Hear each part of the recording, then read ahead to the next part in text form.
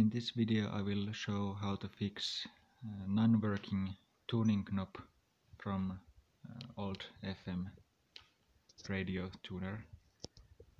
And, and this device is uh, from the 70s and uh, I think 70s and older than that have uh, this kind of string uh, thing which is basically connecting the knob and this uh, needle which is showing the frequency and the device which is physically uh, changing the frequency. All these things are connected with uh, simple wire or string or cord many names but the main point is that over the time this string will go hard and it's not elastic anymore. So this will cause problems with tuning knob. Uh, this is just spinning and doing nothing and the needle is not moving and this uh, frequency changer is not moving. And in this case the wire is actually broken but it may have intact but it's so hard and stiff so nothing moves when you try to turn the knob. And next time giving some tips and tricks how to reinstall new string in place.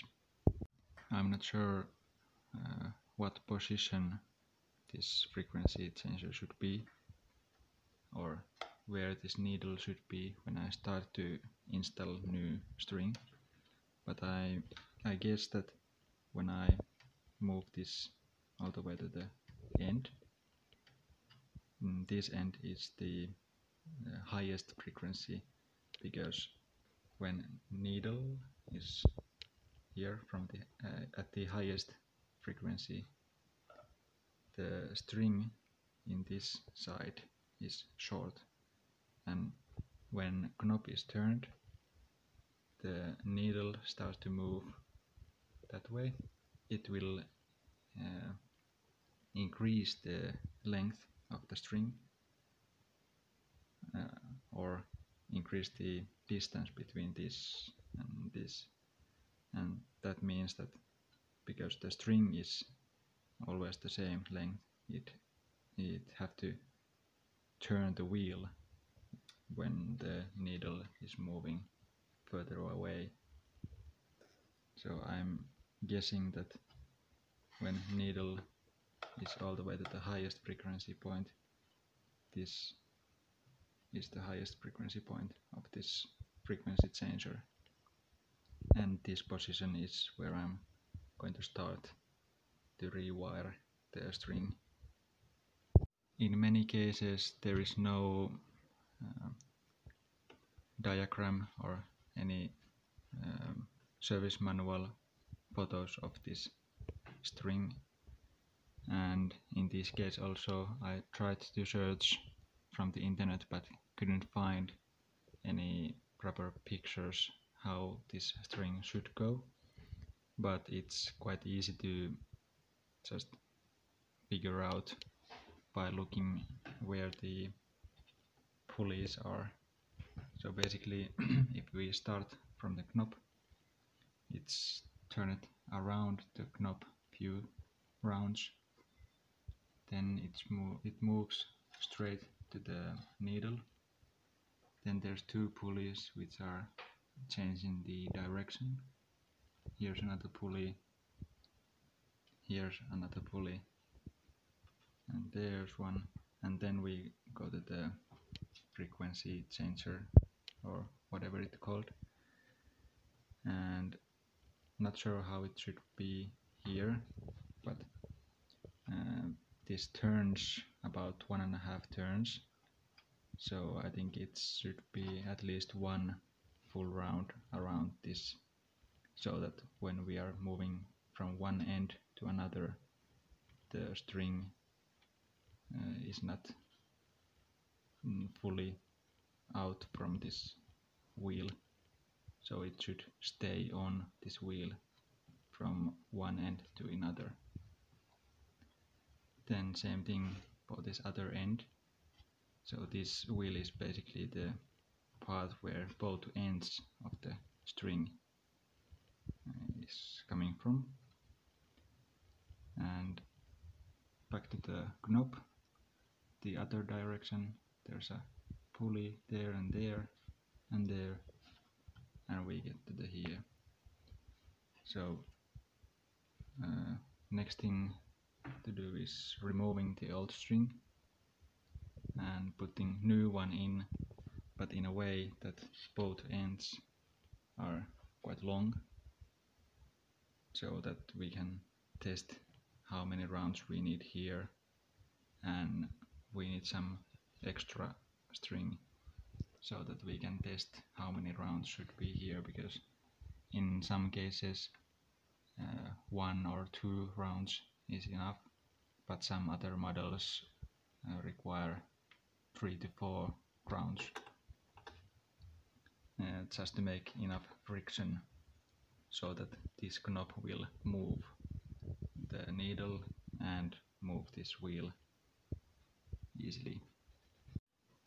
After some test fittings I'm pretty sure that easier is to start actually from the other side. So this longest um, route from the uh, wheel to the knob is uh, quite challenging to keep uh, to maintain the string aligned and on the pulleys because once you uh, release the string all these pulleys will go loose and the string will jump off so I have this uh, kind of uh, metal weight here uh, so I can keep the string tight. And now it's uh, on the pulleys all the way. And one thing I noticed that um, I have turned this wheel to the other end so it's now on the lowest frequency. So needle should be here on the lowest side. Also when I'm continu continuing the string routing here uh, one thing I noticed that this turns one and a half turns. So I need one and a half turns this string around the wheel before it goes in and it's uh, tightened to the spring here. Uh, one and a half turns because I demonstrate I pull the string all the way here. Now the string is almost gone from the wheel and now it's on the other end the highest frequency end. So now we turn the knob to go to all the way to the lowest frequency now. One and a half turns and uh, this is the amount of string we need around the wheel for this side. Now everything is in place. The string is first tied to the spring here, then one and a half turns, and then I um, rotate the string first here the long distance to the knob and then then uh, uh, under these wires and here then one and a half turns actually uh, well almost two. And then I slide the string from the hole. And now just by pulling I can maintain uh, proper tension here. So this is the basically same situation that I'm uh, tied this string to the spring. So I'm just pulling it with my other hand. And now I can uh, test if this knob is working. So I will keep the tension. And as you, as you can see the needle here is turning uh, and uh, I mean moving. And when I turn the knob knob is turning string is moving and this wheel is turning now there's one full round. And then one and a half. Needle is now on the other other end. The string is still in place in all pulleys. I keep the tension here. And to the other end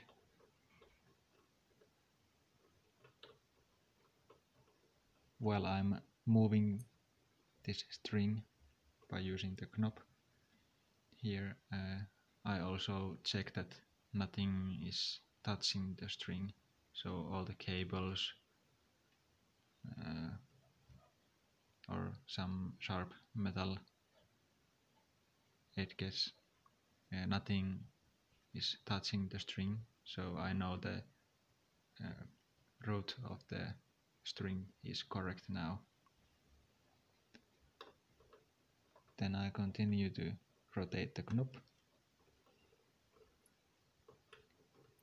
Now this uh, frequency changer is on the other end. Needle is on the other end. There is still proper tension everywhere. So I know that now this string is how it should be. Now last thing to do is keeping the tension of the wire and making a knot here to the spring. So this end is still in my hand and I'm holding it to maintain the tension.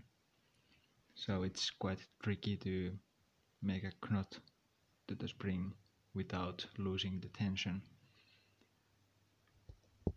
okay now there is knot at the spring. So both ends of the string is now here. And when I turn the knob needle is moving and the selector a frequency changer whatever is moving. It's moving all the way to the end and back. The knob is still feeling quite funny so I think the string should be slightly uh, tighter but with old stereos old radios well we can forgive that. It not have to be perfect when it's uh, really old uh, the final thing now is uh, calibrating the needle position because now we don't know is the for example exactly 100 megahertz here is it exactly the same here? So needle can be moved yet because it's not glued. So next thing to do I will search some radio channel with the frequency I know and the radio station I recognize. And for example 104 is uh, one which is easy to recognize in my country. So I will turn the thing on check for 104 put the needle there and then search the channel and listen recognize then I know the needle is in the right place and I will glue it in place. So there you have it. Uh, this is how to change the tuner string for old radios